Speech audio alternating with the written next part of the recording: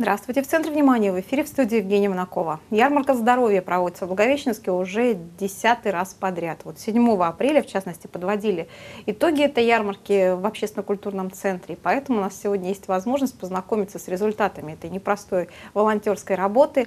Э, у нас в гостях Александр Зверев, председатель студенческого центра медицинской академии. Здравствуйте, Александр. Здравствуйте.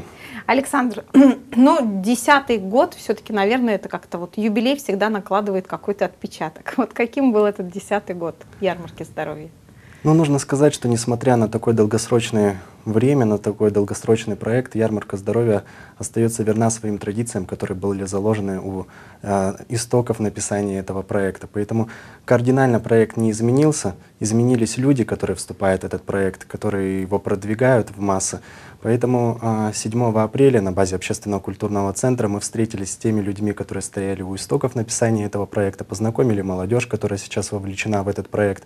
Настроение было, конечно, радостное у всех, потому что были подведены итоги. Итоги неплохие, десятилетний срок, это довольно-таки солидный срок.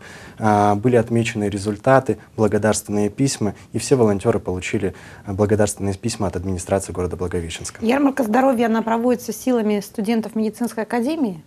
Вообще, по целом, э, в целом можно назвать, что это проект социального сотрудничества. Почему? Потому что он объединил в своем начале множество организаций, осуществляющих свою деятельность на территории города Благовещенска Амурской области. Это и Общественная палата Амурской области, администрация города Благовещенска, и Управление а, образования, Министерство физической культуры, спорта и делам молодежи, некоммерческий сектор, да, а, управление а, Федеральная служба по контролю за оборотом наркотиков.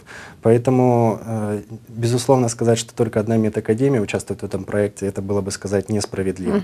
Поэтому... Но все равно задачи какие у студентов медицинской академии? Во-первых, нужно сказать, что при написании этого проекта была впервые применена методика равный равному, когда угу. в аудиторию к школьникам приходит а, равный человек, назовем его в кавычках, это не учитель, это студент старших курсов медицинской академии. И это дало свои результаты. Почему? Потому что концепция этого проекта, как я сказал, она не поменялась. То есть методика равный равному позволяет убрать барьеры между учителем и а, слушателем. Угу. То есть приходит равный человек, который позволяет а, задать вопросы. А, школьники задают не скромные вопросы, так называемые в кавычках. И эта методика действительно действует. Угу. А для студентов медакадемии это большой плюс, потому что в рамках постижения своей медицинской специальности они готовят различный материал и готовят себя как специалиста, то есть тренируют себя выступать перед публикой, а где-то подтягивают свои знания в тех или иных областях, потому что выступать перед публикой это довольно-таки ответственно, тем более, когда это школьники, которые могут задать нескромные вопросы. Вот действительно, Александр, вот в этом самая сложность да, большая, что ты не знаешь, к чему готовиться. Ну, приблизительно приблизительно можешь как-то обрисовать круг вопросов, но не знаешь, с чем столкнешься. Всегда ли удается студентам выходить с честью из любой самой непростой ситуации? Безусловно, потому что за этим стоит большая работа. Студенты проходят волонтерскую школу, это неоднократным, да, различные сборы, это различные тренинги, в том числе и психологический компонент в этих тренингах, как можно выкрутиться, не зная ответ на этот вопрос. Угу. Не зря, да, вопросы, они действительно бывают очень курьезные. Помните но... самый, наверное, курьезный, который вам приходилось? Можно я не буду их озвучивать, потому что я как лектор выступал в вопросах по пропаганде а, именно здоровья в сфере инфекций, передаваемых половым путем, ага. полового здоровья. Непростая поэтому, тема. Да, непростая тема. Поэтому вопросы, конечно, серьезные. Вот. Ну вот действительно, вы понимаете, когда слушаете эти вопросы, дети вообще об этом что-то знают? Или же это вот такие мифы-мифы? Которые приходится развеивать. Вот изначально, когда мы стояли у истоков создания этого проекта, да, может быть, информационное поле, оно было сужено. Почему? Потому что не было столь обширной информации в сети интернет. Да и интернета в то время не было. Все черпали информацию из учебников, каких-либо там журналов. Угу.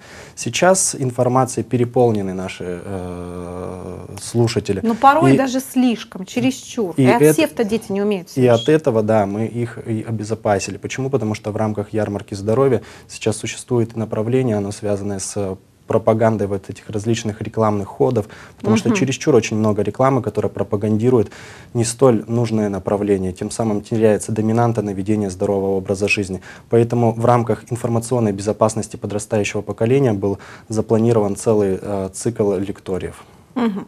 Вообще ярмарка здоровья, да, ну что такое ярмарка в нашем представлении? Это вот что-то такое, где много людей, да, какая-то бурлящая жизнь. А у вас как? Ну вот вы сейчас говорите вопрос-ответ, да, это все-таки какие-то лекции. То есть это уже совершенно другой формат. Или как-то это все-таки совмещается? На самом моменты? деле все боятся, что ярмарка здоровья это сухая трактовка да, каких-либо да. лекций. На самом деле это действительно э, гуляние можно назвать э, по, по, по, в большинстве всего значения этого слова, потому что мы приходим в школу, школа организует а, утреннюю гимнастику для всего коллектива. Да, у нас был большой опыт, когда это проходило под открытым воздухом. Затем по типу вертушки, да, дети расходятся по лекциям. Угу. Лекции проходят не сжато, то есть это интерактивные формы преподавания, это взаимодействие, игровые формы. Точно так же на различных этапах это антропометрия, которую запустил в этом году Центр профилактики. То есть школьник уже э, детально узнает свои компоненты здоровья, качественно оценивает оценивает свой потенциал организма. Поэтому все предусмотрено в интерактивной форме, и скучать, поверьте мне, там не приходится, потому что по итогам каждой ярмарки здоровья э, обратная связь, да, угу. своего рода рефлексия, и мы слушаем отзывы школьников, и всегда узнаем то, что это действительно им понравилось, это им интересно, и по типу опросников всегда только положительные отзывы. Александр, как часто удается вообще бывать, ну, как часто удается ярмарку здоровья проводить в отдельных заведениях? Ну, сейчас э, все регламентировано постановлением администрации угу. города Благовещенска, и мы стремимся к тому, чтобы хотя бы раз в месяц проходила ярмарка здоровья. Но, к сожалению, да, раньше ярмарки здоровья проходили чаще, у нас было угу. больше возможности выезжать в районы. Сейчас мы пока ограничены городом Благовещенском, а, Конечно, это нам не очень приятно, нам хочется выезжать, но ограничены финансово. Поэтому сейчас мы пробуем свои силы с волонтерской группой, с ребятами по написанию различных грантов. И один из успешных грантов, который мы выиграли позапрошлом году на 75 тысяч рублей, он позволил нам выехать комплексно в город Зею и провести крупномасштабное мероприятие, которое охватило школьников, а, слушателей а, различных курсов, в том числе и средних учебных заведений. Александр, вот слушая вас, понимаю, что действительно такие мероприятия, они настолько необходимы, потому что, к сожалению, и в семье не часто рассказывают детям, и врачи об этом не говорят зачастую, да, о тех мерах профилактики, которые необходимо знать абсолютно каждому. Вы тоже чувствуете эту потребность? Ну, эта потребность видна. Почему? Потому что всегда для родителей мы дороги. Вот. И каждая мама думает, ну, возможно, мой ребенок слишком еще юн, и мы об этом с ним не будем говорить. Угу. А когда мы приходим на лекцию и в формате вопрос-ответ, мы узнаем, что дети знают уже больше, чем мы в некоторых вопросах хотели бы, чтобы они знали угу. на этом уровне. Поэтому здесь, безусловно, эта работа, она очень полезна. Ну да. Какие еще мероприятия проводятся силами волонтеров из медицинской академии? Потому что я знаю, что это не единственные. На самом деле, да, в медицинской академии представлено четыре центра волонтерской деятельности. Один из них это волонтерский отряд «Седьмой лепесток», который занимается по работе с детьми с ограниченными возможностями угу. здоровья. Затем это пропаганда безвозмездного донорства крови.